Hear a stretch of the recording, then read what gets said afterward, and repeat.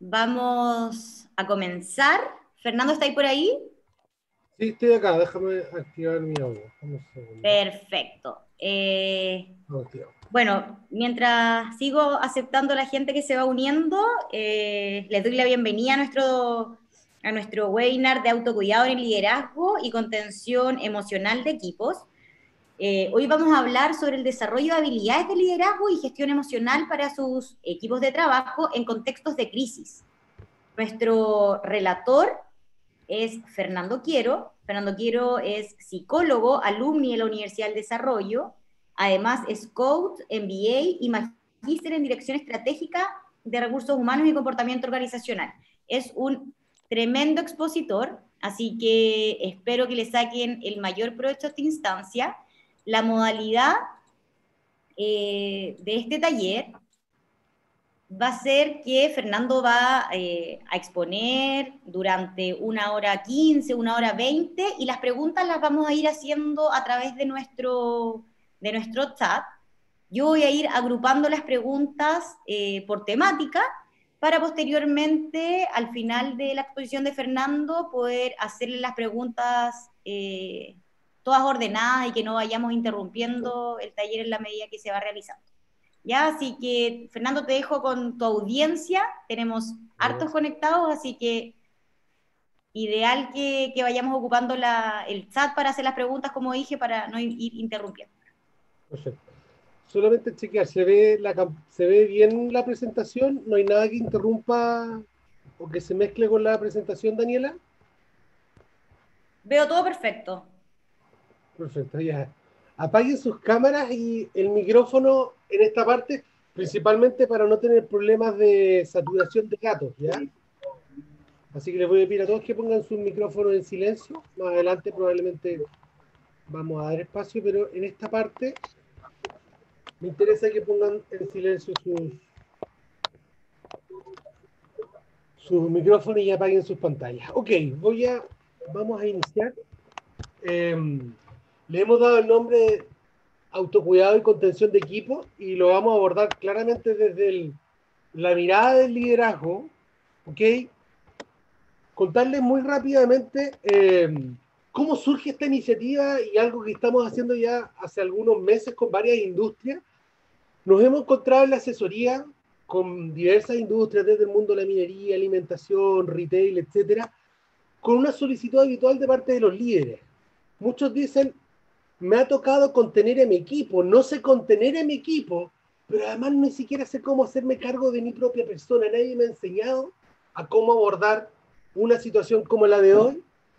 Y a partir de eso le pusimos este nombre, cómo cuidarme para contener y sostener a otras personas y a otros a otras personas de nuestro equipo. Dame un segundo que se me mezcla una parte de la gente que entrando.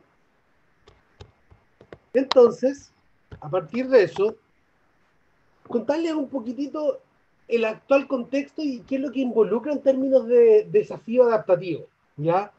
Estamos en una situación que, si bien mucha gente cree pararse en las redes sociales muy habitual, pararse desde el experto, estamos en un contexto sin ningún precedente.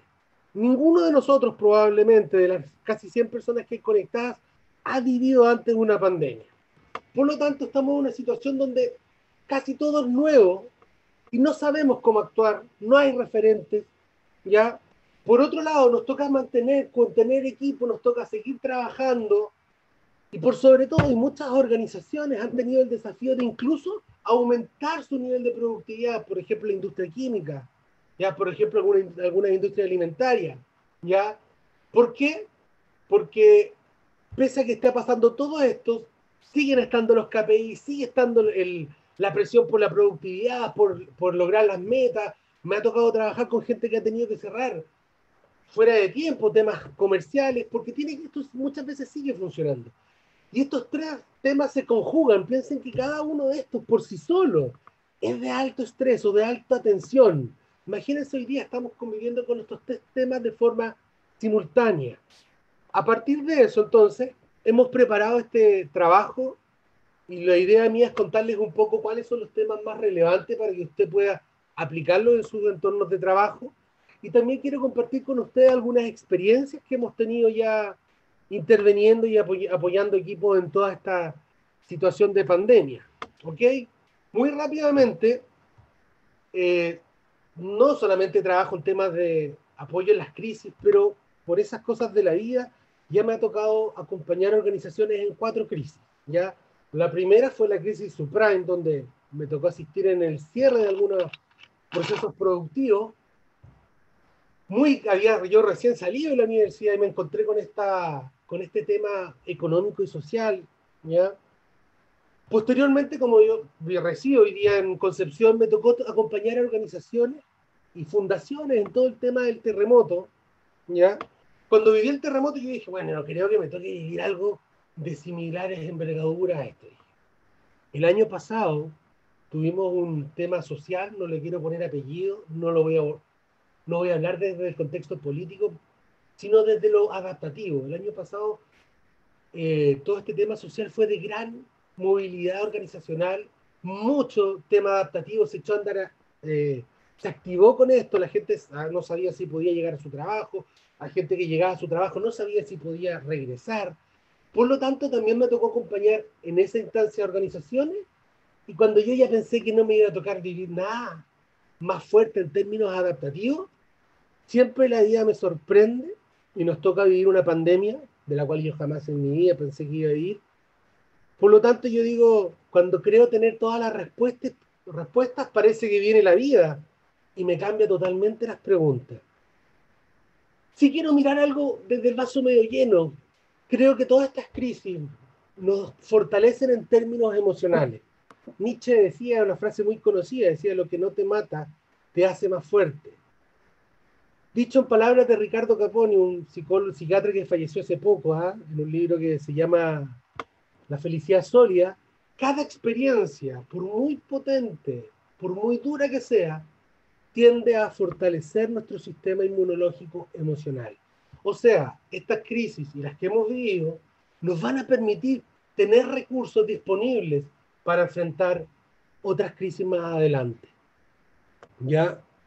Entonces vamos a empezar ya a entrar a, a comentar un poco el tema del autocuidado, temas como resiliencia, ¿cierto? Y quiero iniciar con esta frase. Si ando en la vida con un martillo, todo me parece un clavo. ¿Por qué pongo esta frase en la mesa? ¿Por qué pongo esta frase en la conversación? Porque si hay algo que yo no voy a hacer durante este rato y en el resto de la diapositiva, es entregarle una receta.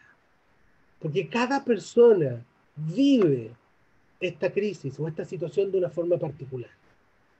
Por otro lado, creo que aún más relevante, liderar involucra flexibilizar. Fíjate que muchos problemas, y esto lo puedo decir con, la experiencia haciendo coaching a directivos, muchos problemas de los líderes es que cuando algo les funciona, lo usan de forma indiscriminada. Es más, en el desarrollo del liderazgo, me encuentro muchas veces que las grandes debilidades son las fortalezas aumentadas. Por lo tanto, lo que vamos a hacer en este curso es entregar algunas miradas, algunas herramientas, si quiere mirar pero es el momento y es el contexto el que te va a definir si es en ese momento la herramienta adecuada o si en ese momento tengo que soltar la herramienta y utilizar otra. ¿Ok?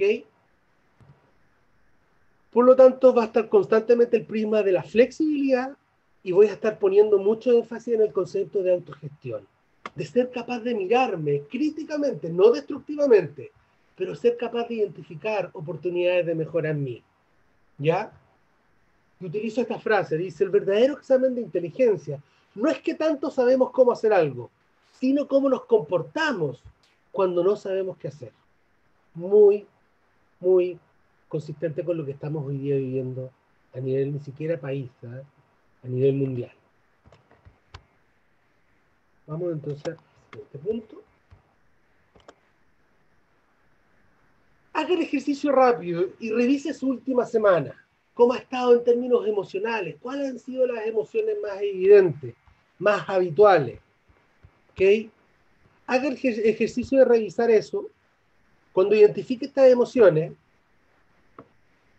probablemente algo de incertidumbre y preocupación debería aparecer. ¿ya? Si miramos hoy día, de forma adaptativa, estamos en una situación con alto nivel de tensión. ¿ya? Por lo tanto, quiero iniciar con un concepto de estrés que me hace mucho sentido para las, vivencias de hoy. Vamos a decir que el estrés es lo que surge cuando algo que nos importa se ve amenazado. La vida, familia, fuente de trabajo, estabilidad, economía, vida social, etc. Y lo más importante de esto es que esto tiene un fuerte, un fuerte componente corporal. ¿ah? Es más, vamos a ver en un ratito más que muchas veces es el cuerpo el que nos da señales de que estamos siendo superados por el entorno. ¿Ok?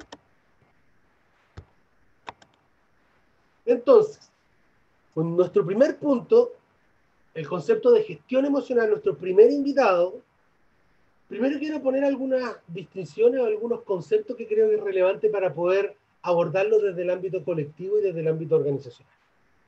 Lo primero es que tenemos que entender de que la emoción surge como forma de adaptarnos al entorno. La emoción nos pone en alerta de que algo sucede en el entorno que requiere nuestra capacidad de satisfacer o de movilizarnos. ¿Ya? Por lo tanto, ninguna emoción per se es mala. Pero sí pasa algo muy importante. A veces nuestra respuesta adaptativa resulta ser nuestro peor enemigo. Muchas veces la forma en que reaccionamos al estrés, en vez de modular, en vez de eh, bajar el nivel de intensidad, tiende a aumentarlo. A eso nosotros le llamamos el autoestrés. Y aquí sí me voy a detener unos minutitos a continuación. ¿Ya? Voy a separar dos conceptos para explicar el tema emocional y lo voy a hacer primero en términos conceptuales y luego lo voy a hacer con un ejemplo. Primero voy a hablar de la emoción, por un lado. ¿Qué característica tiene la emoción? Primero, la emoción es altamente reactiva. Por lo tanto, uno la evidencia corporalmente, se me agita la respiración cuando me enojo, tenso la cara, es fácil de mirar e identificar en las personas. Cuando uno ve a un niño chico que filtra menos, ya no tiene tanto esta censura social. Uno ve a un niño chico, un pequeño, y se da cuenta el tiro cuando está enojado. Porque cambia el rostro, cambia la respiración, cambia el cuerpo. ¿Ya?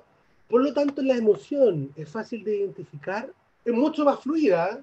Uno a veces puede despertarse en la mañana, le envían un correo, se enoja, pero allá a mediodía se le pasó y está en otra emocionalidad totalmente distinta.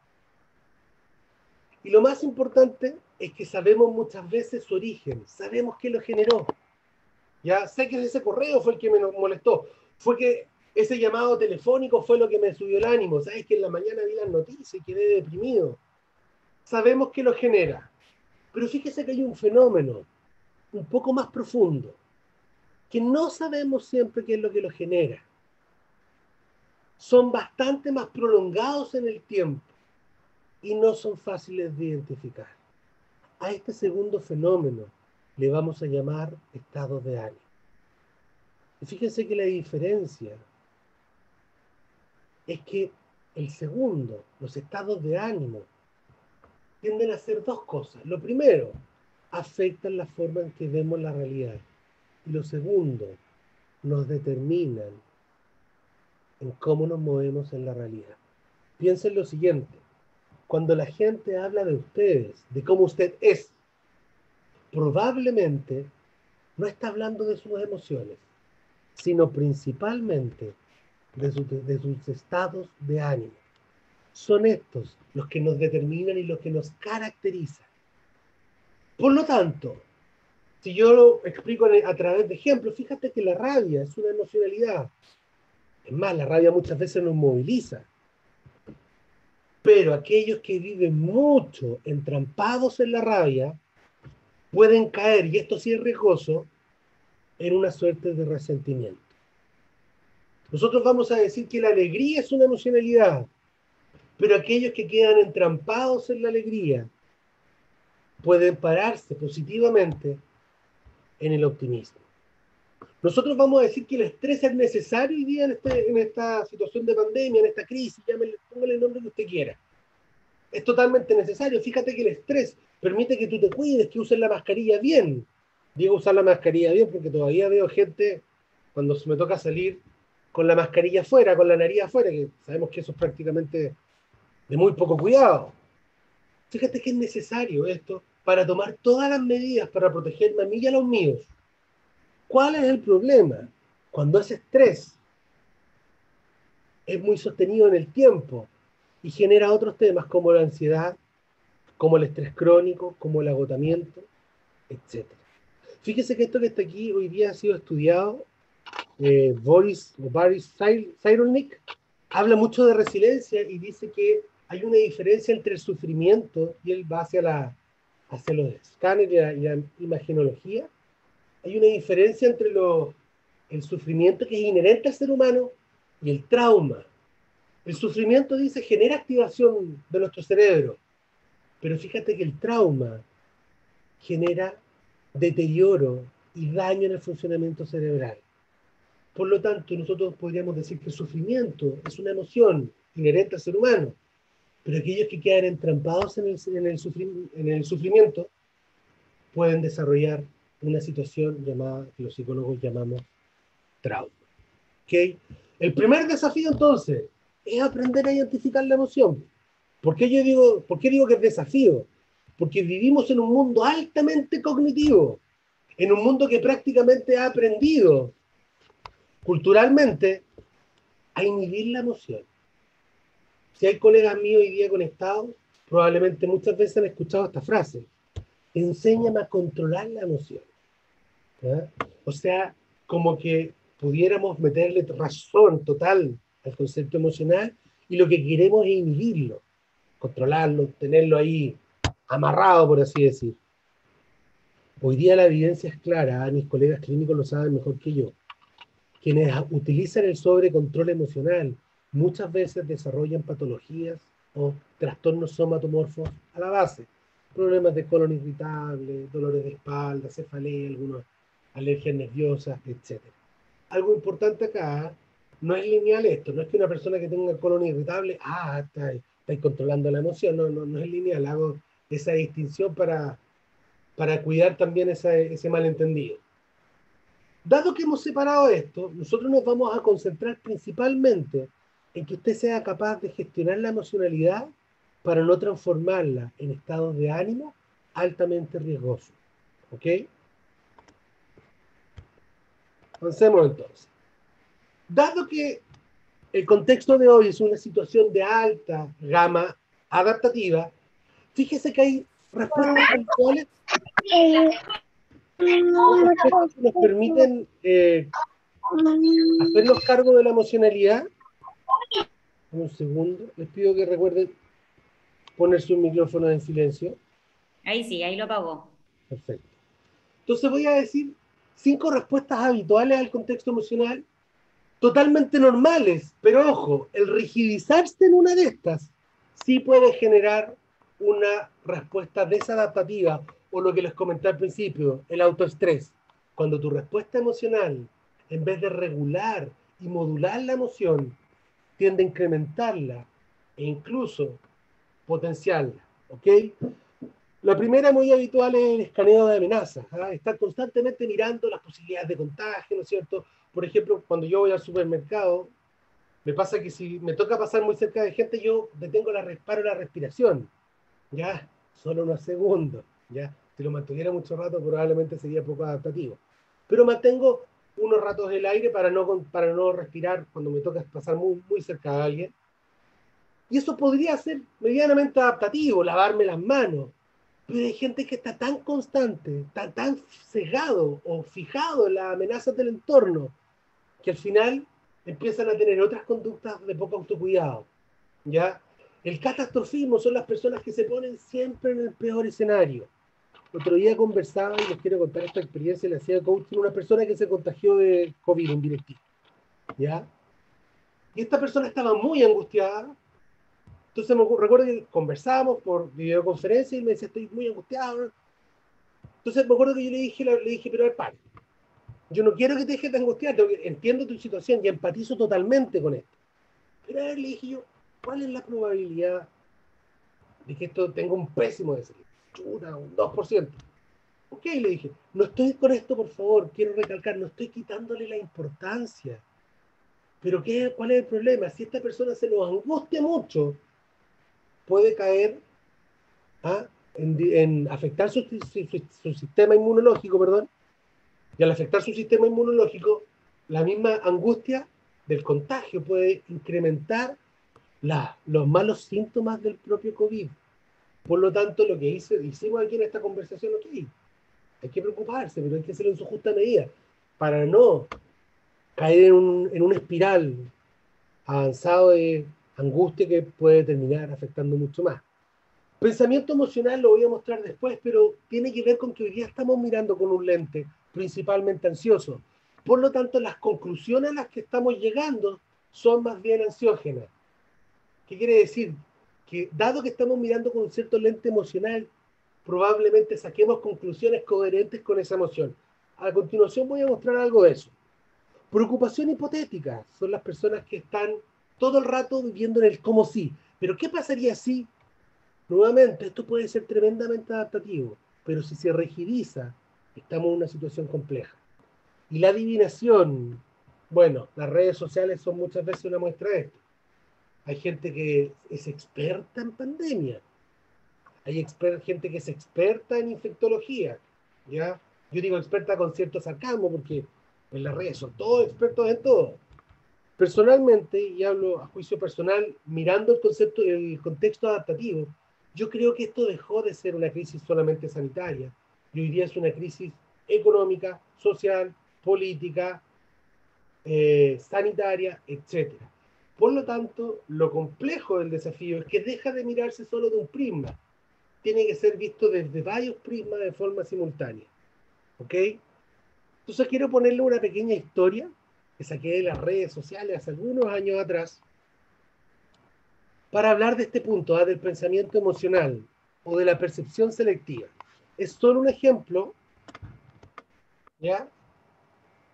Y lo voy a leer yo para, que, para hacer una aclaración. El género para este caso da lo mismo, podría ser un hombre o una mujer, da lo mismo. En mi casa probablemente sea yo el que cuelgue la sábana, por eso hago esa salvedad. Dice lo siguiente, dice, una pareja de recién casados se mudó por un barrio muy tranquilo.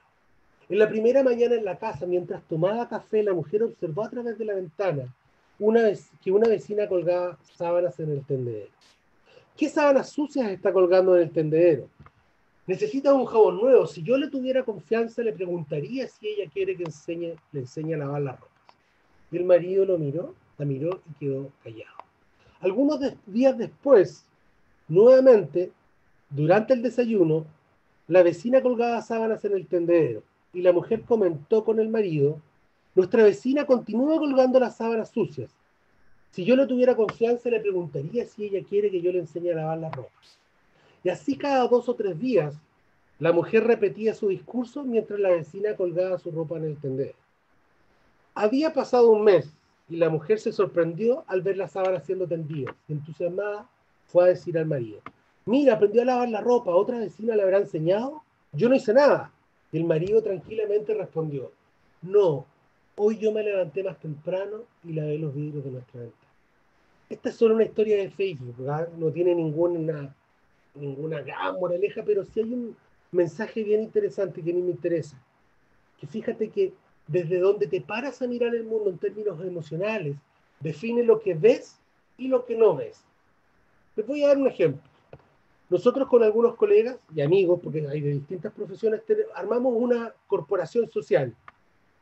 ¿Qué hacemos? Trabajar y ayudar a personas vulnerables a armar sus emprendimientos y a darle escalabilidad a sus emprendimientos. ¿ya? Son emprendimientos pequeños, un artesano en madera, reciclada, por ejemplo, chicas con nutrición, sándwich de nutrición saludable, una persona con un taller de costurería, etc. Y nosotros los asesoramos en distintos temas, marketing, flujo de caja, derecho tributario, recursos humanos, en mi, en mi caso. Pero nos hemos dado cuenta de lo siguiente. Nunca hemos visto, puede ser que haya, pero nosotros no, lo hemos visto, nunca hemos visto un emprendedor pararse en la resignación. Es más, la emoción con la que llegan a nuestras jornadas, que tienen que ir al menos 12 sábados enteros, ¿ah? es como una suerte parecida a un MBA, pero focalizado a emprendedores de pequeños emprendimientos, es precisamente lo contrario, que se paran ahí y están sentados y están dispuestos a invertir 11, 12 sábados, porque se paran precisamente de la emoción contraria, la ilusión, la esperanza, las ganas de cambiar el status quo, etc. ¿Okay? Sigamos. En esta mirada entonces, ¿cómo desarrollar mayor flexibilidad? ¿Cómo tener mayor, eh, mayor poder de resiliencia frente a situaciones tan críticas como la de hoy? Tiene que ver principalmente con el enfoque con el cual usted mira, con este lente que le hablé, con este lente que usted mira la realidad. Fíjate que se ha estudiado que personas que ponen énfasis en aquellas cosas que pueden controlar versus aquellas personas que ponen la mirada en aquellas cosas que no pueden controlar. Estos dos tipos de personas enfrentan las crisis de una forma diametralmente distinta. Dicho en palabras más sencillas, fíjate que las personas que miran la realidad desde el vaso medio lleno, no es negar, ojo, no es el falso optimismo, no es negar lo que está pasando, pero ponen la mirada donde pueden intervenir. Voy a dar un ejemplo muy organizacional.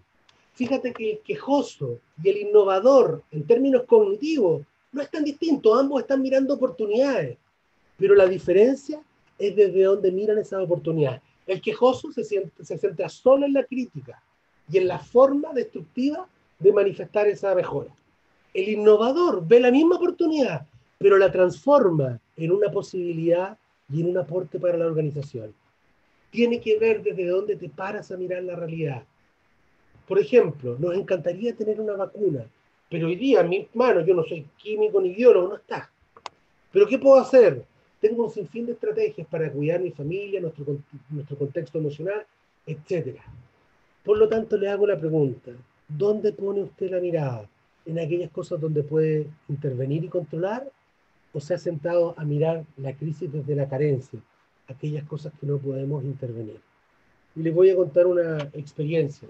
Estamos trabajando en una organización y diseñaron un programa en el cual yo fui parte, donde estamos interviniendo los equipos y le estamos haciendo una suerte de autocuidado de una hora y media. Nos encantaría que fuera más tiempo, pero la situación donde hay gente con licencia, estamos con escasez de personas, etcétera, no nos permite que esto dure más de una hora y media. Con mucho sacrificio hemos logrado que la gente nos acompañe una hora y media. Y recuerdo que una vez estaba hablando de haber sido, ya había intervenido, conversado con muchos grupos, y hicimos esta pequeña intervención, hiciste una hora y media, no podemos cambiar el mundo en una hora y media, pero sí podemos agregar valor a las personas en ese momento recuerdo que una persona me dice, ¿sabes qué? Que esto me dice, no me sirve. Esto es muy corto, muy breve, a mí no me relajó ni me, ni me entregó nada. Me gustaría que fuera mucho más. Recuerdo que yo le dije esto. Entiendo lo que usted plantea, incluso puedo estar de acuerdo con algunas cosas que usted plantea. Pero fíjate, le dije, que este es el décimo grupo que me toca compartir el día de hoy. Y mira que en todos los otros grupos la gente me ha dicho lo siguiente, tema que no es mentira por lo menos. Eh, sabemos que esto podría durar más, pero ¿sabes qué? Agradecemos que la compañía nos esté dando esta posibilidad, porque sabemos que hay gente y compañías que ni siquiera lo están haciendo. Fíjese que esto es bien interesante, ¿ah? Fíjate que unos miran desde el vaso medio vacío y otros miran desde el vaso medio lleno. Ambos miran la realidad, pero la forma en que se mueven y los resultados que tienen son completamente distintos. ¿Ok? Por lo tanto, les quiero mostrar un videito.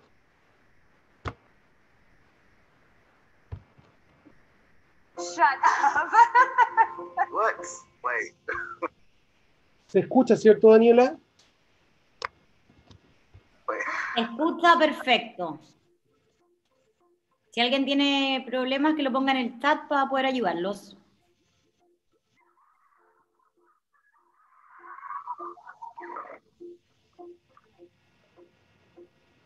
What makes you happy? Having fun? Hanging out with friends? Delicious food? Making money? Well, consider this. Psychologists have scientifically proven that one of the greatest contributing factors to overall happiness in your life is how much gratitude you show. Yeah? Think about that. Go ahead and marinate on it for a second. You can thank me later if you want. It'll make you feel better according to this study. You go ahead and click on it and read it if you want. Or you can keep watching because we read it. We thought it might be fun to test out for ourselves. Gathered a selection of volunteers to act as our subjects. First, we gave them a test. They didn't know what we were looking for, but it gave us a pretty good idea of their current level of happiness.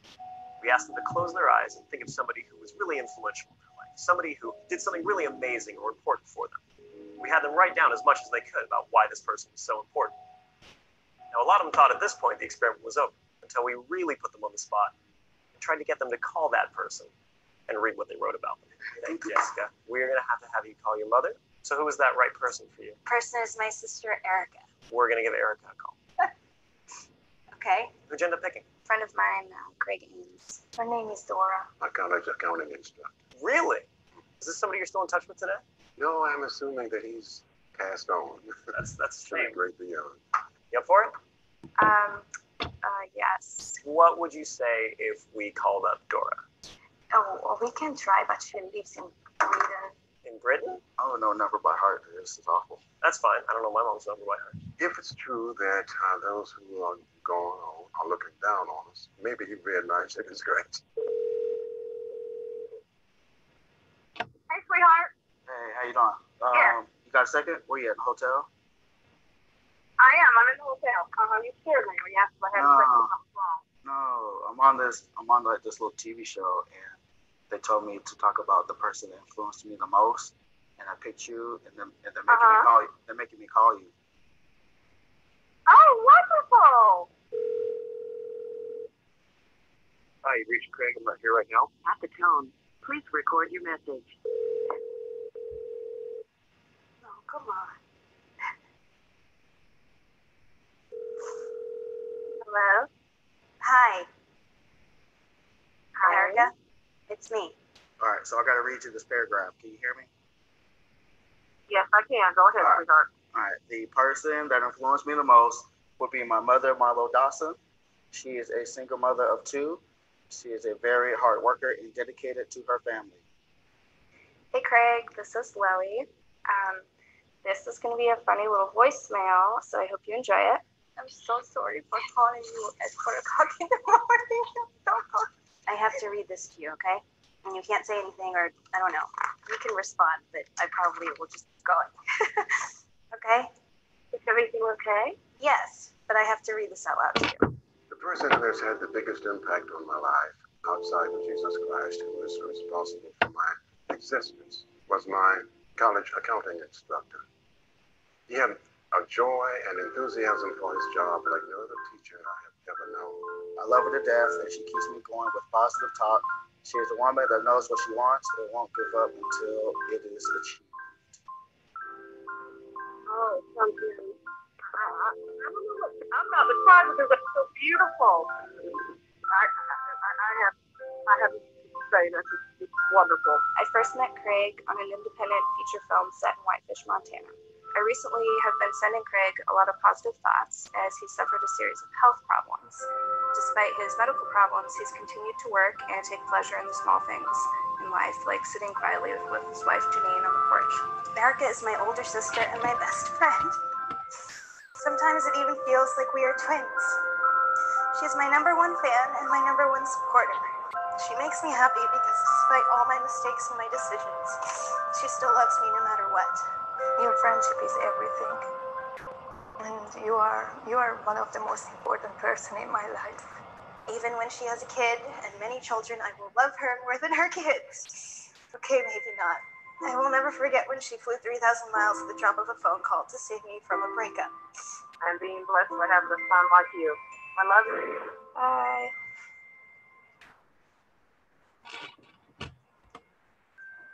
Why did you do this? I don't know because they made me do it. Thank you for picking up. Bye, sweetie.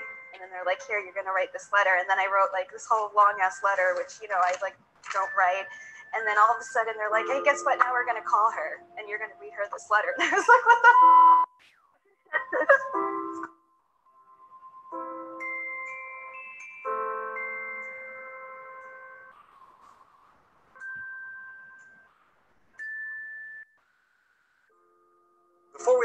we gave our subjects one more happiness test. Now, we mixed up and rephrased the questions so they didn't know they were taking the same test twice. For those who took the time to actually write something down but couldn't make the phone call for whatever reason, we saw happiness increase between 2 and 4%. Good, but not exactly mind blowing.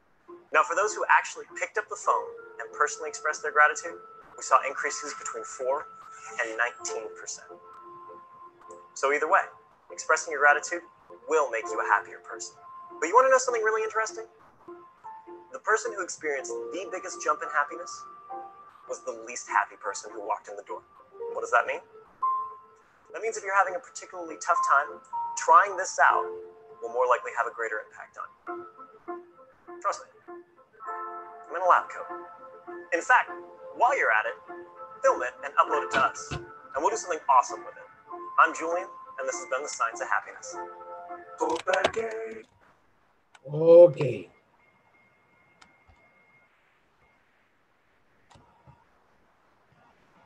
Fíjese que el video nos muestra algo bien interesante. La gente, eh, la gente feliz, o la gente agradecida, perdón, tiende a vivir mucho más feliz. Pero hay una segunda derivada en este video. Aquellas personas que voy a borrar aquí y alguien pasó a algo. Aquellas personas que miran desde el vaso medio lleno son las personas mucho más agradecidas.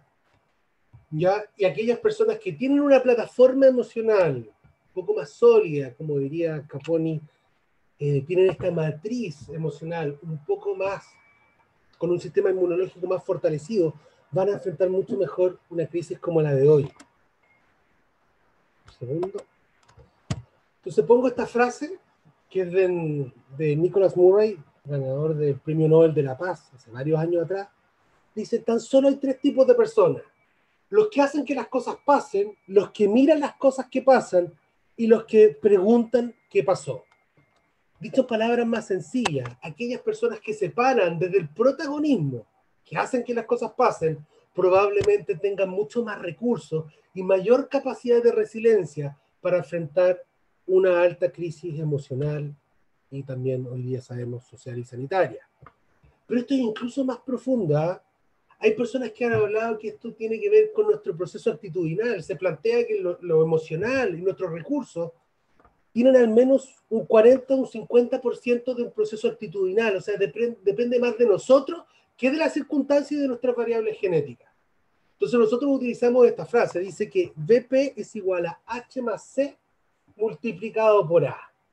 ¿Qué significa esto? Tu valor personal es igual a tu habilidad, con qué facilidad se te da el tema, más tu conocimiento, cuánto sabes del tema. Pero ojo que esto se multiplica por la actitud. Si tú tienes una actitud negativa, probablemente al final del día, tu, tu aporte a la organización, tu aporte al equipo va a ser negativo. Dicho esto, Ninguna emoción yo dije que era mala. ¿Cuándo se genera el problema? Cuando la emoción te toma de rehén. ¿Y cuando nos toma de rehén? Quiero mostrar algunos ejemplos, pero principalmente cuando dejamos de conectarnos con el presente. ¿ya? El mayor obstáculo para vivir es la expectativa, que depende del mañana y pierde hoy. Todo futuro es incierto. Por lo tanto, quienes quedan muy pendientes del futuro, no digo que lo niegue, pero no se quede pegado allá, porque probablemente eso va a incrementar tu nivel de ansiedad. Segundo punto, mira esto, los seres humanos construimos historias a partir de los hechos, explicaciones, puntos de vista. Si bien nosotros hacemos explicaciones, fíjense que al final del día las explicaciones nos hacen a nosotros. Fíjate que los seres humanos hacemos historias, pero al final del día las historias nos hacen a nosotros. ¿Ya? Dos conceptos entonces. Realidad de primer orden y de segundo orden. Primer orden, los hechos. Segundo orden, lo que construimos y las historias que nos contamos a partir de esos hechos. Estimado, cuestiónese esas explicaciones. Fíjese que todo fenómeno tiene más de una posible explicación. Esto la ciencia lo sabe bien. Dice que cuando dos cosas se explican igual, elija la más sencilla. Voy a dar un ejemplo muy que nos ha tocado muchas veces en este tema de la fundación. Cuando vamos a hacer nuestros procesos de lanzamiento, la gente nos dice muchas veces, no pocas, muchas veces nos dice esto. Usted me habla de emprendimiento, pero mi realidad es muy distinta a la suya. Usted me di cuenta que era profesional, que tiene otros postítulos, pero fíjese que yo, yo vivo en una situación totalmente diferente. En mi casa hay violencia interfamiliar. Fíjese que al lado de mi casa venden drogas. A mí me ha tocado súper difícil. Por lo tanto, eso que ustedes hablan me parece muy interesante, pero mi realidad es tan distinta. Y esa pregunta que nos hacen a mí me encanta, porque siento que es una pregunta muy valiente, pero siempre respondemos lo mismo con nuestros amigos. Fíjate que cuando lo escucho, cuando te escucho, siento que te ha tocado difícil. Cuando escucho, siento que la vida te ha puesto, te ha puesto cuesta arriba. Pero fíjate que eso que tú utilizas como excusa para no emprender es lo que otras personas no han dado motivo principal para convertirse en emprendedores. Esto es bien interesante, ¿ah? porque uno siempre decide qué historia quiere contar. Hay un adulto que cuando chico le sufrió de maltrato de sus padres se transforma en un agresor. Y hablamos con el hermano y el hermano jamás ha tocado a su hijo. Y tú le preguntas, pero ¿cómo? Si te tocó vivir lo mismo que tu hermano, ustedes cuando chicos aprendieron con golpes, sí, ¿y por qué tú no le pegas a tu hijo? Porque yo aprendí lo que se sentía y me prometí jamás tocar a mis hijos. Estimado, nosotros hacemos historias, pero al final del día las historias nos hacen a nosotros. Por lo tanto, cuestiónese esas explicaciones, esas historias. ¿No habrá una forma distinta de contar el mismo hecho? ¿No habrá una forma que me abra más puertas, que sea más inspiradora? ¿Ya? No se enamore de sus puntos de vista. No hay mayor arrogancia que aquel que se enamora de su forma de ver la realidad y jamás la pone en cuestión. ¿ah? Sigamos. Quiero introducir un concepto. Hemos hablado del tema emocional y lo hemos abordado mucho desde el ámbito cognitivo. Yo quiero entrar ahora desde a lo emocional, pero hablar desde el concepto, desde lo corporal. ¿ya? Esto se ha estudiado, pero lo quiero contar, lo que me ha tocado vivir en, hago coaching en algunos directivos del mundo de la salud, ¿ya? y en otras organizaciones me han compartido un poco esta experiencia. Y una pregunta que también quiero instalar en ustedes. ¿Cuál es tu santuario? ¿Y a qué me refiero con el santuario? No es un lugar, sino qué es el momento, actividad, situación, práctica que haces en el día o en la semana o en el mes para cargar energía. ¿Cuál es el espacio donde funciona esto como un reset emocional para poder terminar la semana con energía, el mes, etcétera? Fíjate que en estos directivos que hablaba hay algunos que me contaban que están haciendo hoy día, por ejemplo, temas de yoga, que más bien nada más, ¿no es cierto? Con, con todo un tema, con todo un tema ahí corporal bien intenso. Pero he conversado con personas que me dicen, ¿sabéis que yo antes salía a la montaña? No puedo salir a la montaña. Veo clases de, de bootcamp, creo que se llama, este tema de hacer ejercicio rápido. He conversado con otros directivos y fue bien interesante porque una empresa que estoy trabajando hicieron un grupo de WhatsApp para compartir con los demás colegas su santuario. Y uno dice, bueno, ¿y qué comparten la pieza? No, fíjate que hay uno que le encanta salir a acampar. Y como no puede salir a acampar, él es de, de montaña, de hecho vive muy cerca de la montaña, lo que ha hecho es algunos fines de semana armar carpa en el living de su casa. Y bien interesante porque manda fotos, ha improvisado fogatas falsas con luces rojas, qué sé yo.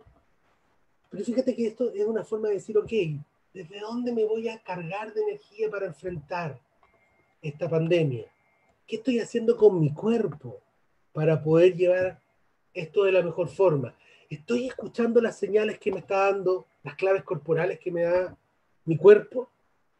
Y fíjate que en este tema del cuerpo, nosotros decimos esta frase, es la, la acción, a la acción le sigue la motivación. O sea, a veces hay que emprenderse en hacer algo y ya cuando uno lo está haciendo nos vamos a cargar de energía. Dicho esto, entonces quiero introducir el elemento corporal. ¿Ya? ¿Cómo nos conectamos con el cuerpo? ¿Cómo escuchamos las claves que nos está dando el cuerpo? Mucha gente hoy día está viviendo esta crisis y es su cuerpo el que está acusando de desgaste. ¿Qué temas han aparecido con, lo con la gente que he conversado? Dolores de espalda, mucho dolor de hombro y cuello Hablaba con un amigo kinesiólogo quiropráctico, me dice que tiene la consulta llena, con muchos temas de espalda y columna y cuello, producto de que el cuerpo está dando señales. Entonces instalo dos preguntas acá. ¿Usted está haciéndose cargo de su cuerpo? ¿O está solamente haciéndose cargo cuando el cuerpo ya es casi insoportable? Porque como vivimos en un mundo altamente cognitivo, nos acordamos del cuerpo solamente cuando nos duele. Yo escucho de repente gente que dice, no, ¿cómo estáis? No, mira, yo estoy bien, Fernando. Me duele la cabeza, pero yo estoy bien. Así como que la cabeza anduviera sola. Entonces, vamos a abordar este tema. Y la primera pregunta es si me estoy haciendo cargo de mi cuerpo, cómo hacerme cargo. Y el segundo punto, ¿estás escuchando las claves corporales de tu equipo? Porque muchas veces la forma de pedir ayuda es a través del lenguaje no verbal. Y aquí me quiero detener. Hay distintas corrientes para abordar el tema corporal. Eh, hay corrientes que yo creo bastante, pero sí me interesa mostrar o señalar algo en el tema corporal. El cuerpo no es lineal. No es que una acción por sí sola vaya a revelar o nos permita concluir algo determinante. Hay gente antiguamente decía, no, mira, cuando la gente está de brazos cruzados, eso es porque la gente está cerrado. Eso no tiene ningún sentido. Yo a veces cruzo los brazos porque me escomo, a veces cruzo los brazos porque tengo frío, etc. Aquí vamos a mirar que no es que tratemos de adivinar qué es lo que nos dice el cuerpo del otro. Yo no creo, personalmente no creo en esa mirada. Y hay distintas formas de abordar esto y quiero nombrar una, una que para mí es muy relevante, ¿ya? que es el alba monte. Quiero contarles un poco cómo nace esto, pero antes de hacerlo les voy a mostrar un video.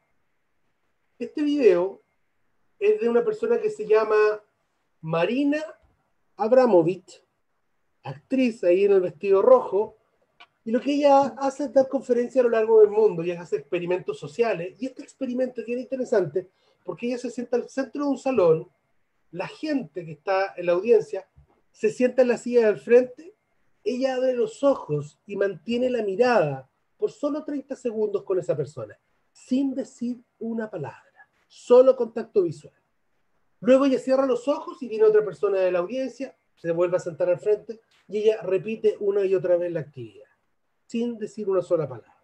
La gente reacciona de distintas formas, ya lo va a ver en el video, pero lo que Marina Abramovich no sabe es que la producción le preparó una sorpresa. ¿Qué sorpresa? Al frente de ella se va a sentar una expareja, que según estuve leyendo en algunos foros, qué sé yo, parece que es una pareja con la que tuvo una relación bien compleja. No se ven hace años y lo que quiero que haga ahí, y lo invito a hacer el ejercicio, fíjate que en ese momento no sale una palabra entre estas dos personas, que, entre eh, Marina y su pareja. Pero a usted no le va a quedar ninguna duda de que ahí hay una conversación. Por favor, ponga mucha atención e hipotetice, especule si quiere llamarlo así, el posible diálogo que hay en este video.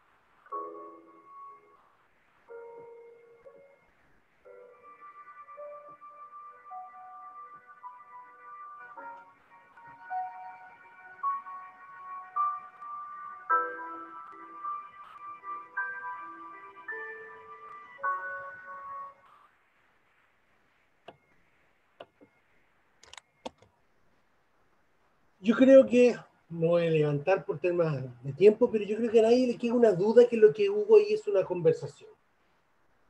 Eh, Martin Buber, filósofo existencialista, decía una frase, decía, todo ser humano es un ser profundamente dialógico y todo ser humano tiene tres tipos de conversación, decía. Todo ser humano conversa con otros, todo ser humano conversa consigo mismo y todo ser humano conversa con lo misterioso. Fíjense que el lenguaje o la conversación, en este momento hay 126 personas conectadas. Aquí al menos tenemos 127 conversaciones. La que yo estoy teniendo con ustedes y la que cada uno está teniendo consigo mismo. Esa conversación consigo mismo aparece muchas veces en el cuerpo. Por lo tanto, vamos a ver el tema del cuerpo, pero el cuerpo nos revela mucho lo que nos estamos diciendo y lo que otros se están diciendo a sí mismos. Esto es tremendamente relevante para escuchar mi propia corporalidad, pero además escuchar la corporalidad de los otros. Le quiero contar muy rápidamente cómo surge el alba mounting como técnica. Ya lo crea una chilena que se llama Susana Bloch. ¿eh? Hoy día creo que reside en Francia. Pero lo que hace Susana Bloch es inicialmente trabajar con hipnosis, hipnosis ericksoniana. No es la hipnosis de la televisión, necesito aclarar eso. Es una hipnosis donde la gente entra en una suerte de, eh, de una conciencia distinta y se contacta con su sentir y con su emocionalidad y pierde el temor a la vergüenza, al filtro social y manifiesta la emocionalidad muy similar a la catarsis de forma lo más pura posible. Cuando empieza a trabajar con hipnosis, se empezó a dar cuenta que la gente cambiaba algunos patrones cuando se conectaba con historias emocionales. Por ejemplo, cuando la gente contaba historias de rabia, a la gente le cambiaba la cara, le cambiaba la respiración y le cambiaba la tensión muscular en situación de hipnosis. Luego se empezó a dar cuenta que estos patrones eran exactamente los mismos, independientes de la cultura. O sea, algo pasa en nuestra estructura genética para que la manifestación emocional pura, obviamente que hoy día la filtramos en lo social, pero si fuera pura, la manifestación de estos tres patrones es más o menos similar, independiente de la cultura. Y lo que hace Susana Bloch es empezar a hilar estos patrones. Y a partir de eso, crea este método que se llama el alba mounting. ¿Qué es el alba mounting? Es un método de inducción, modelación y vivencia de las emociones desde patrones posturales y respiratorios, es decir, desde lo físico. Se utiliza en diversos temas, en el coaching lo utilizamos mucho también para todo el tema de expresión corporal, pero fíjese que esto yo creo que uno más o menos es capaz de instruirlo. Uno dice, mira, cuando uno siente la emocionalidad, nuestro cuerpo tiende a cambiar. Y eso es casi de forma intuitiva. Pero lo interesante y el gran aporte que hace Susana Bloch, o mi interpretación del aporte de Susana Bloch, es que dice lo siguiente, dice, si a cada emoción le corresponde un cuerpo, ¿qué pasaría si yo pongo a la gente a respirar de una forma particular a mostrar o contraer los músculos de la cara de una forma particular y le pido que tense y ponga el eje corporal de alguna forma particular, podré inducir la emoción. Y fíjense que la respuesta es concluyente. Si usted cambia estos tres patrones o alguno de estos tres patrones, usted puede inducir la emocionalidad. Fíjense que le han pedido a gente ciega que se ponga en posición de triunfo. Gente que jamás ha visto a alguien celebrar un triunfo y se ponen con los brazos hacia arriba. Algo pasa en nuestra estructura, en nuestro cuerpo, que venimos de alguna forma seteados desde nuestra estructura genética. Entonces esto es bien interesante, ¿eh? porque fíjese que la forma en que usted camina, la forma en que tú te mueves, la forma en que tu cuerpo se hace presente día a día, afecta la emocionalidad que usted siente. Dicho en palabras más sencillas, tú puedes despertar con la mayor de las energías, pero si caminas arrastrando los pies, es probable que al final del día tu emoción sea coherente a arrastrar de pies. Por lo tanto, todas las técnicas de relajación, ya no las quiero hacer, todos los cambios de respiración, todos los ejercicios de conciencia corporal nos ayudan a modular la emocionalidad, a tener algún nivel de gestión sobre ella. ¿Ok? Es más, Susana Bloch dice que cuando hacía a las personas, las inducía emocionalmente, la gente muchas veces quedaba entrampada, quedaba con resaca emocional. O sea, la gente se contactaba en el laboratorio con la rabia y la gente se iba para su casa y a los tres días seguía con, con cierta irritabilidad. Luego había personas que eran inducidas al miedo y a la semana llegaban y decían, ¿sabes qué? Estuve como tres, cinco días un poco temeroso, tuve sueños de, en relación al miedo. O sea, muchas veces, sin darnos cuenta, quedamos entrampados en la emocionalidad. Y Susana Bloch diseña una técnica, que solo la voy a comentar acá, que se llama el step out. Pero el step out dice lo siguiente, dice hay tres elementos corporales, cuerpo, respiración, ¿no es cierto? Cuerpo, tensión, hacia adelante, hacia atrás. ¿Cuáles pone el cuerpo hacia atrás? Principalmente el miedo y la tristeza. Hacia adelante, la rabia, la felicidad, el placer, el erotismo y la ternura. Pero dice, si yo cambio, soy consciente de estos tres patrones y soy capaz de hacerme cargo de ellos, puedo de alguna forma gestionar y administrar la emoción. Fíjate que una emoción tranquila es incompatible con un alto nivel de ansiedad. Muchas veces, yo no soy clínico, pero mis colegas clínicos hacen ejercicios de respiración con gente para que no desencadenen crisis de pánico. Entonces, yo siendo consciente de estos tres elementos puedo modular mi emocionalidad. A veces llega un correo y puedo hacer una suerte de estirar los brazos, soltar el cuerpo, un pequeño mensaje en la cara durante algunos minutos, 30, 30 segundos, un minuto y medio, no más que eso. O a veces la gente hace un ejercicio de respiración de 30 segundos. A mí me ha tocado trabajar en coaching personas que tienen mucho pánico cuando les toca presentar, por ejemplo, frente al directorio. Y hemos entrenado ejercicios de respiración. Yo no quiero que la gente deje de ponerse un poco ansiosa, porque esa ansiedad le permite armar una presentación, prepararse, ponerse en situaciones hipotéticas de preguntas que le podrían hacer. Pero lo que nos interesa es que esa emoción tenga cierto nivel de modulación y no a la gente no la inhiba. La idea es que la emoción te movilice y no te paralice. ¿Ok? Ahí ejercicios habituales, puede revisar el step out, la estimulación bilateral, la respiración consciente. Hay mucha información de esto en las redes. Y quiero pasar al último punto, pero no menos importante, al concepto de contención de los equipos. Yo pongo una imagen aquí que es muy gráfica, la imagen de los Springboks, cuando el año 95 salen campeones de rugby, campeones mundiales de, de rugby, ¿ya?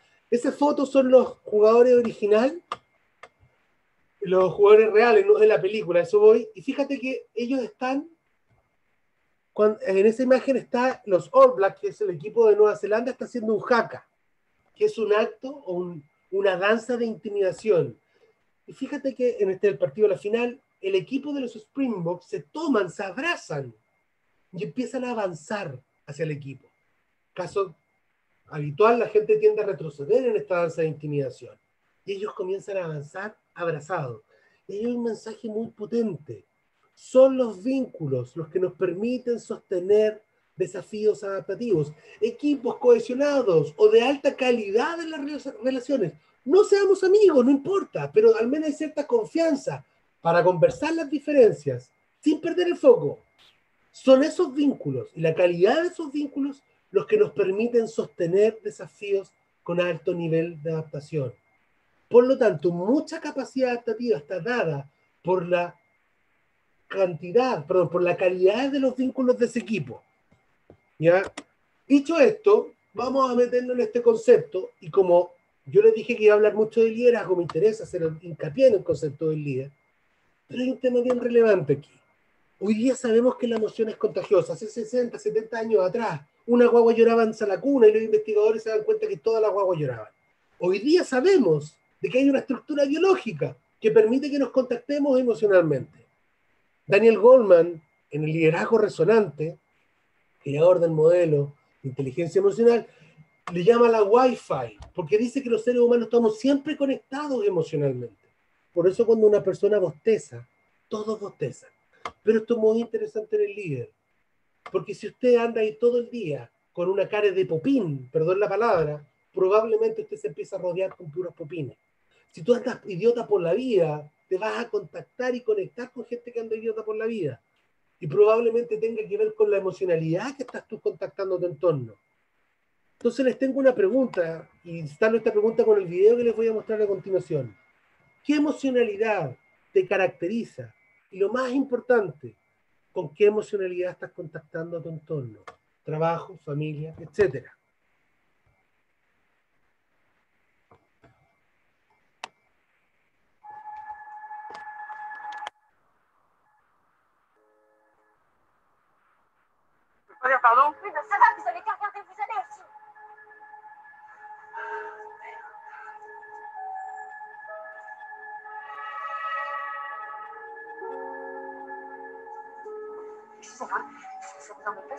Parce que j'ai fait juste ça. Ben moi aussi, je suis pressé. Faites la queue comme tout le monde. Ça va, vous n'avez pas besoin d'être désagréable.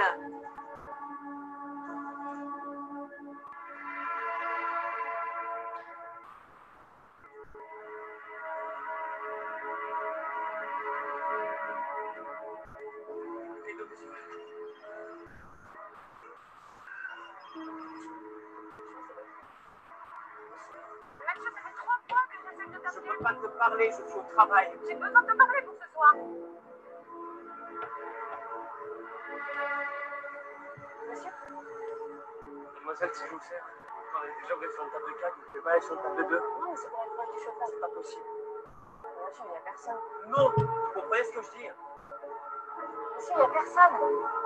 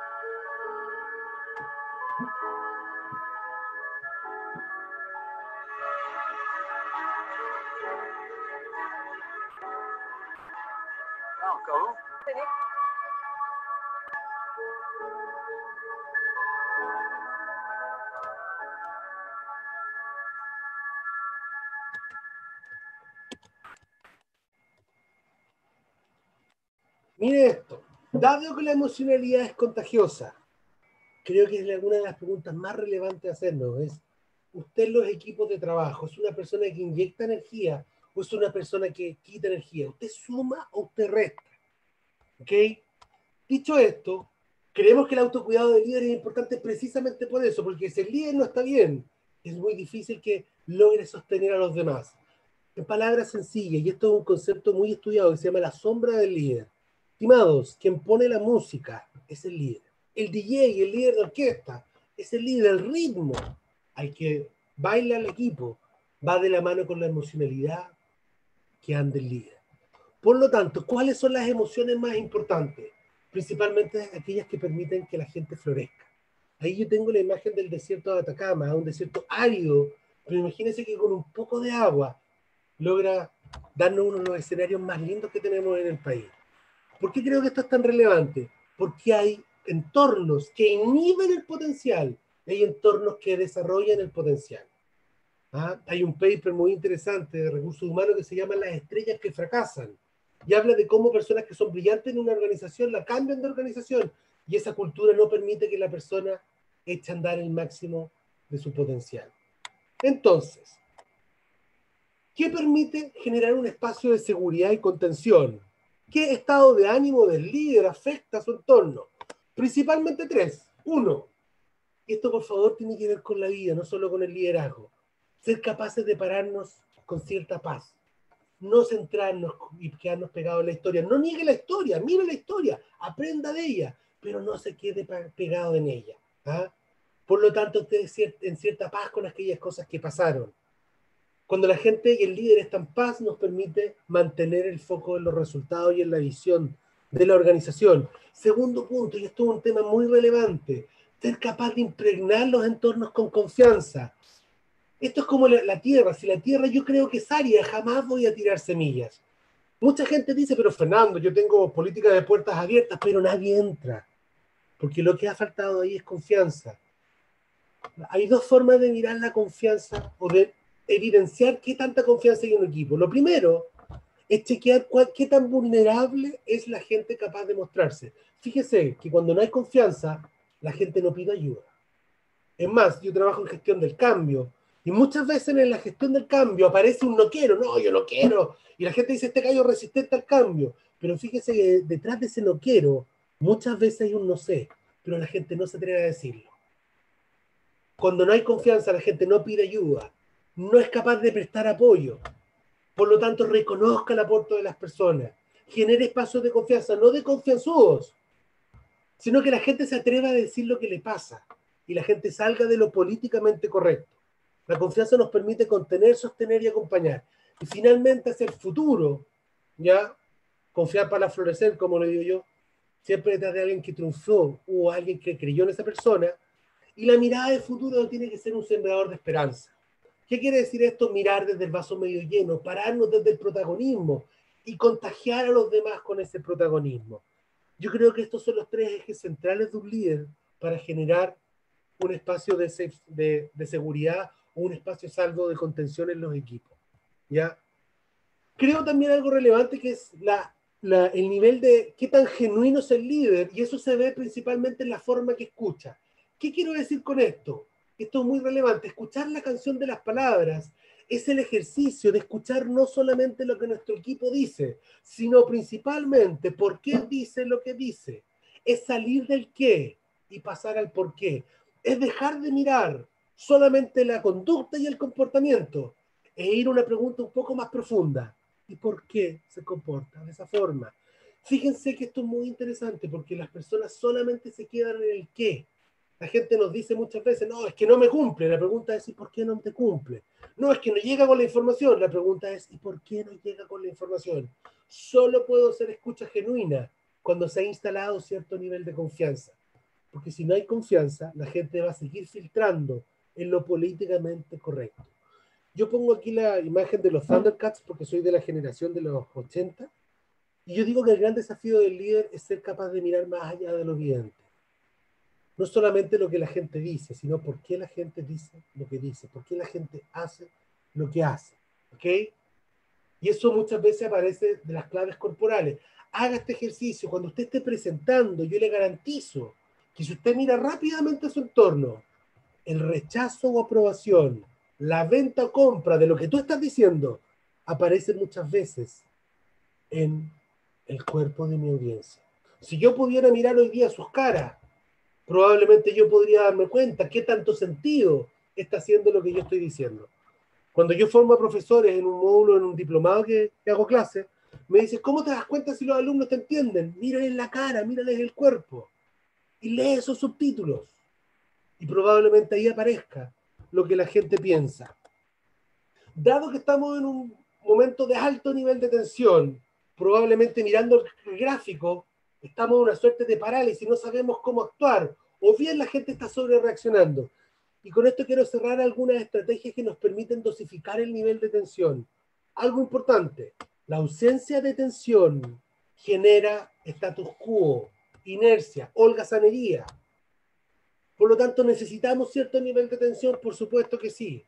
La principal es animita, la mayor cantidad de animita no están en las curvas, están en la recta, porque la gente se queda dormido, se relaja. Por lo tanto, ¿cómo administrar este nivel de tensión en un escenario que es altamente tenso? ¿Ya? ¿Cómo? Primero gestionando el compromiso. ¿Qué significa gestionar el compromiso? Lo primero, salir del qué. No siente su liderazgo solamente instrucción. Involucra a los demás. ¿Y cómo se involucra? Explicándoles el por qué. Los griegos decían una historia en el mito de Sísifo. Decían, no hay nada más enloquecedor para una persona que hacer un trabajo sin sentido salga del qué y explique a la gente el por qué tiene que hacer lo que está haciendo. Muchas veces en los procesos productivos la gente ni siquiera conoce la cadena de valor completa. La gente ni siquiera conoce qué es lo que pasa para allá, más allá de dos o tres máquinas. Haga que la gente entienda el proceso y vea y enseñe al otro cómo él está sumando a un proceso total. Esto es bien interesante ¿ah? y es un factor muy habitual de desmotivación. Segundo, si quiere generar compromiso, negocie. Hay estándares no negociables en todas las organizaciones, pero no puede ser todo no negociable. Si quieres compromiso, da cierto espacio a la voluntariedad. Jerarquizar, el tiempo es el recurso más escaso. ¿Cómo gestionar el tiempo entonces? La gente tiene que saber qué cosas son más importantes que otras. En Chile la palabra más mal utilizada es la palabra urgente. El problema es que si todo es urgente no tenemos cómo ponderar. Muchas veces tú llegas al final del día y vas a alcanzar a hacer cinco de las diez cosas que tienes que hacer. Tu equipo tiene que saber cuáles cinco son postergables para mañana a primera hora y cuáles no son postergables. La gente tiene que tener los criterios para definir cierto nivel de jerarquía, no puede pesar todo lo mismo. Los líderes creen que todo es urgente y ponen ese concepto para darle velocidad, pero al final del día lo que hacen es perder velocidad, porque la gente se pierde y no sabe qué cosas puede dejar al otro día y qué cosas no. Insisto, no es que dejemos todo al otro día, pero más de alguna vez nos toca tener que postergar algunas cosas porque el tiempo no nos da. En economía se dice que el tiempo es el recurso más escaso. ¿Cómo entonces aumentar el compromiso y generar agilidad? Sea activo en sus solicitudes. Si yo te pido algo para la otra semana, no espero la otra semana para ver cómo estás. Chequeo antes, monitoreo. Despacio a que la gente se sienta voluntaria de las decisiones que toma. Mientras más espacio de voluntariedad, la gente tiende a comprometerse mucho más. Tiene que ver con abrir espacios de negociación. A veces se puede negociar el qué, a veces el por qué, a veces el cuándo, a veces el cómo, a veces el quién, etc. ¿Hay cosas no negociables? Sí. No habrá diálogo con cosas no negociables, no tiene sentido. Pública, mientras más personas estén involucradas en, esa, en ese acuerdo, más probabilidad tiene la gente de cumplirlo, porque su identidad pública está en juego. Explícitas, claramente, qué, por qué, ya, cuándo, cómo, todo eso tiene que estar claro, más en un escenario de alta incertidumbre. cerrando ya. Quiero cerrar con algunas reflexiones. Primero les puedo contar desde mi experiencia que aquellas personas que lideran mal, probablemente en situaciones de crisis, no lideran bien.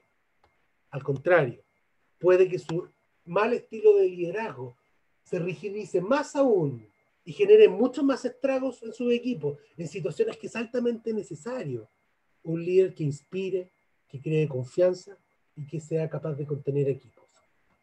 Yo creo que la crisis nos pone a prueba, estimados. Nos pone a prueba en, mirar cómo hemos invertido con nuestro equipo en el tiempo, en compromiso, en motivación, etc. Segundo, yo creo que las crisis nos están obligando a repensar y reflexionar nos están poniendo a mirar qué cosas son centrales, qué cosas son accesorias. No solamente en lo organizacional. Mucha gente me dice, ¿sabéis que me estoy dando cuenta de un montón de reuniones que hacía que no agregaban valor? Pero además tiene que ver con lo, con lo familiar. ¿Cuánta gente vivía? Le, le, da el valor a un abrazo a un familiar que no puede ver por cinco meses. Yo a mis padres hoy día los tengo enfermos con una enfermedad muy complicada y no los veo hace cinco meses. No se imaginan las ganas que tengo de abrazarlos y, algo que tuve siempre a mano y que siempre disfruté, hoy día me muero por darle un abrazo. No lo voy a hacer porque no quiero exponerlo. Pero yo creo que la crisis nos está poniendo a repensar un montón de cosas. ¿ah? ¿Qué cosas son medulares y centrales y qué cosas no son centrales? ¿Qué cosas agregan valor y qué cosas no? Pero por sobre todo, quiero cerrar con esta reflexión. Hay algo que va a pasar. Yo creo que esta pandemia va a pasar en algún momento. Espero que pronto. Por supuesto que sí. Pero hay algo que va a quedar en el tiempo, que es la forma en que nosotros la vivimos. La historia que usted construyó como persona e individuo, como parte de una organización. ¿Sabe qué? Usted decide qué historia quiere construir. Usted decide cómo quiere influir en sí mismo y en los demás. Los líderes tienen un tremendo poder. Al igual que un martillo y un cincel, pueden crear escultura, pero también pueden destruir. Entonces yo lo invito a pensar, más allá de esta presentación, cuando esto termine, ¿qué historia te quieres contar? ¿Qué historias quieres construir? Y por sobre todo, ¿desde qué ámbito la quieres crear? ¿Desde la víctima que las cosas le pasan o desde el protagonista que hace que las cosas pasen? Estimadísimos, muchísimas gracias por su tiempo. Muchas gracias a ti, Fernando, una, una excelente exposición. Eh, ahora vamos a abrir, em, vamos a abrir el paso a las preguntas a través del chat. Y la primera pregunta es de Karina. Y dice, ¿crees que también nuestro líder, ya sea padre, jefatura, líderes, eh, religioso, debe mostrar sus puntos débiles, comprendiendo de antemano que los, que los que los seguimos debemos comprender que el líder es ser humano? Fíjate que hay, hay una persona que habla mucho de esto que se llama Patrick Lencioni, ¿eh? consultor norteamericano, y él hace clase en MBA y dice esto, y es muy coherente, es muy interesante, y lo quiero sacar a colación por la pregunta. Él dice, yo lo primero que le digo a mis alumnos de MBA, que probablemente el día de mañana vas a ser gerente, es que cuando cometan un error, pidan perdón. Dice, no hay nada más humano que hacer que más a los líderes, a sus equipos, que, ser la que mostrar cierto nivel de vulnerabilidad. Fíjate que mostrar cierto nivel de vulnerabilidad hace que la gente perciba, por un lado, humildad, que creo que es muy relevante para los líderes, y segundo, la gente piensa, siente que al, al frente tiene una persona genuina. Por lo tanto, yo estoy totalmente de acuerdo con ser capaz de mostrar cierto nivel de vulnerabilidad, obviamente con ciertos criterios, pero por ejemplo reconocer que no sabemos, pedir ayuda, pedir tiempo, sabes que esto no lo sé, dame un poco más de tiempo. No, yo creo que ese líder omnipotente, que, yo creo que hoy día con un mundo altamente dinámico y cambiante, donde la tecnología pasa de moda en dos, tres años, yo creo que ese líder está obsoleto. Por lo tanto, yo creo y apoyo totalmente la capacidad de mostrarnos vulnerables frente a las personas.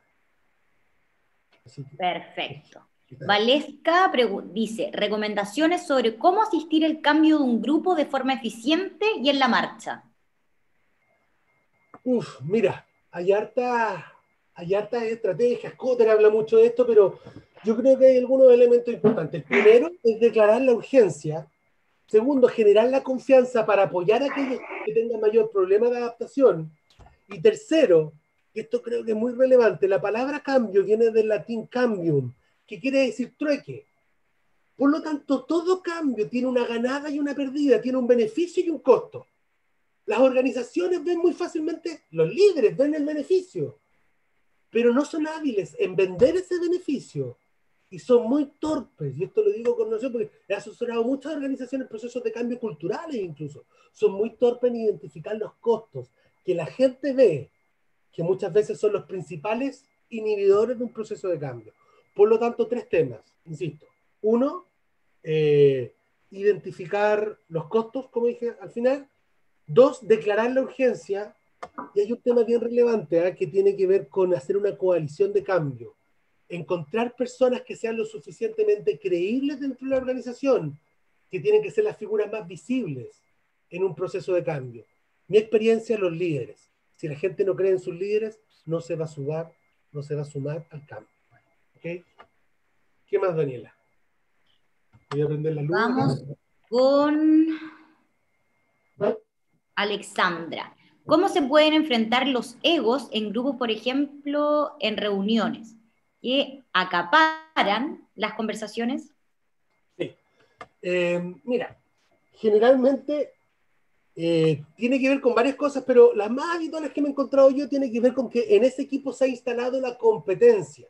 Y Humberto Maturana dice una frase que a mí me hace mucho sentido. Dice, si exacerbamos la competencia, aparece la guerra.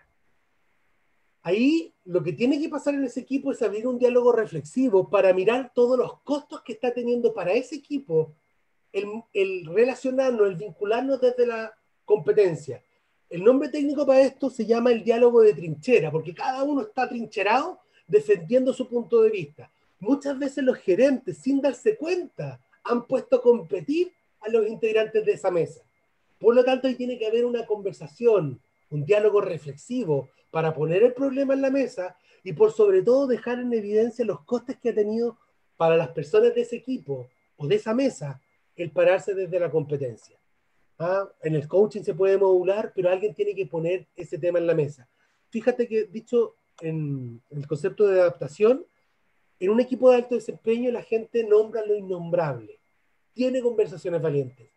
Lo que tiene que pasar aquí para que la gente se salga de esta forma de relacionarse es poner un tema de una conversación valiente y disolver un poco la competencia, mostrando los costos para pasar a un espacio de colaboración y de cooperación.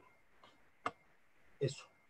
Muchas gracias. Acá Rodrigo nos dice, Fernando, gracias por el taller. Siempre se dice que uno, ya sea el líder de un equipo o los integrantes del equipo, debe ser capaz de separar los problemas personales del trabajo y viceversa. ¿Cómo manejar esa situación cuando se hace el teletrabajo? Y uno eh, se mantiene en el ambiente familiar y no existe ese cambio de suite como podría ser el traslado y el ambiente en que se está. ¿Y cómo apoyar al equipo en eso? Uf, esa es una respuesta, de hecho... Hace unos, meses atrás, eh, hace unos meses atrás hice un taller sobre el tema del teletrabajo, pero mira, em, tenemos que saber dos cosas. esa concepción de que yo soy una persona en la pega y una persona en la casa, yo creo que no tiene mucho asidero. Si yo tengo un mal día en la pega, probablemente llego agotado a la casa. Si yo tengo un problema familiar, mi hija está enferma, voy a llegar más agotado al trabajo.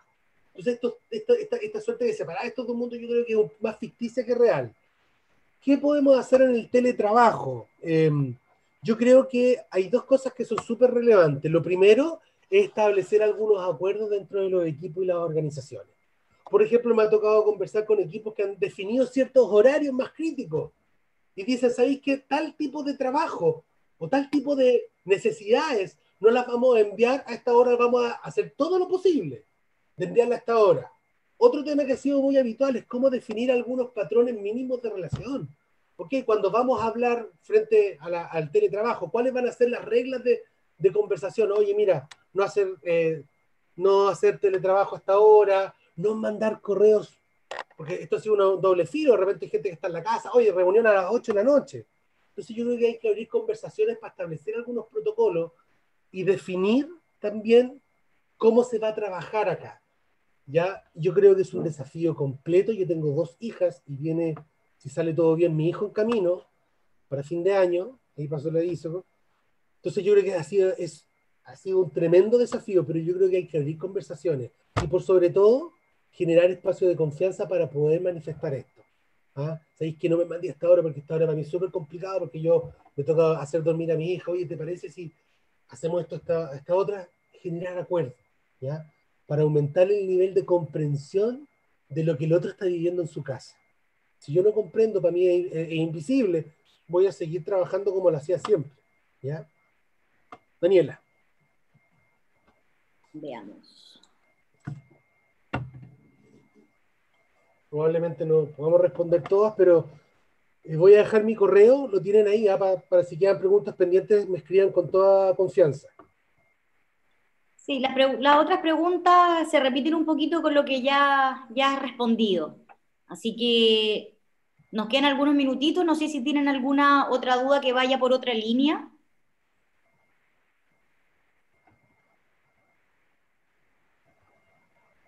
Todos te están agradeciendo mucho, excelente taller. Muy buenos comentarios, Fernando. Excelente. Pero parece que aquí hay. Gracias, Fernando, muy buenas tardes. ¿Habrá más cursos? Sí, por supuesto que sí.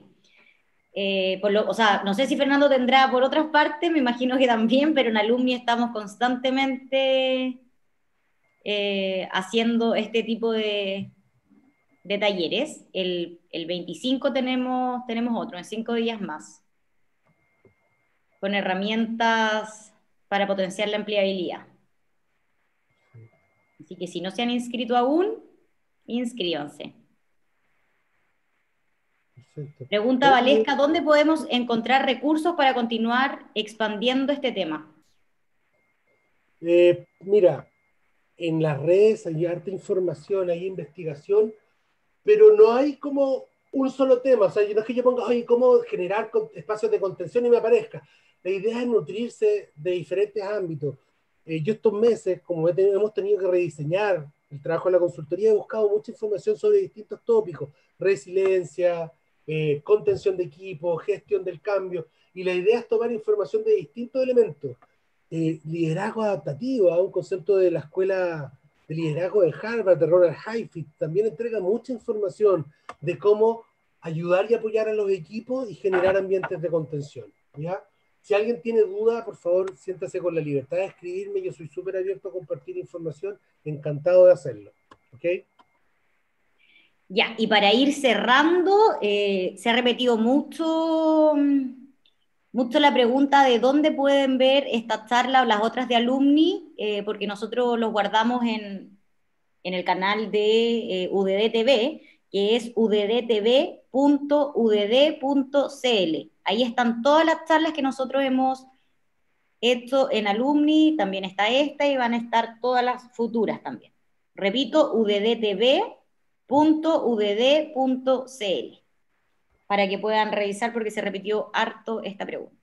Excelente. Oye, gracias a todos. Gracias, Daniela. Pues, si no, no, hay más preguntas, agradecerte a ti, Fernando. Eh, como siempre, excelente expositor, muy cercano.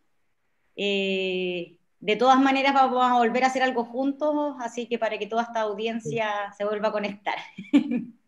Excelente. Encantado. Listo. Entonces, ahí nos, nos comunicamos. Excelente.